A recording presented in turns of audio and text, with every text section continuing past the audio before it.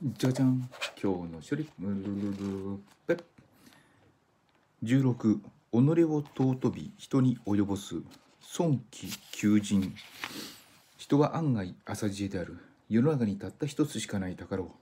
一番粗末にしている。その宝は己自身である。昔あるアフリカ人にカッパを与えた。雨が降り出すとそれを畳んで脇下に抱え雨に濡れながら歩いていったという。いいね。自分自身。